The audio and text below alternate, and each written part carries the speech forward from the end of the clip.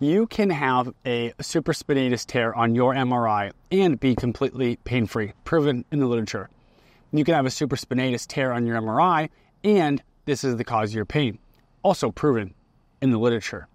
You can be in debilitating pain but have nothing wrong wrong on your imaging. What's the point of this? Imaging does not show your pain it shows you the structural changes which may or may not cause pain. And it is crucial to understand this when you are going through your journey to resolving or managing your pain. More investigation needs to occur in order to determine why you are in pain. And this is usually the history, which is basically talking with the provider, and the physical exam.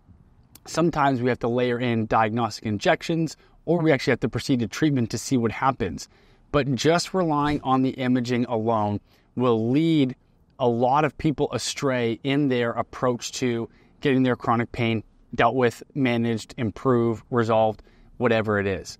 And so if you feel like you're in the place where the focus has just been imaging, what you need to look towards is finding someone who talks openly about taking that imaging and then correlating it with all of the other things to actually try to understand is that thing on your imaging what's causing you pain or is it just an incidental finding and it is not causing you pain? That is crucial.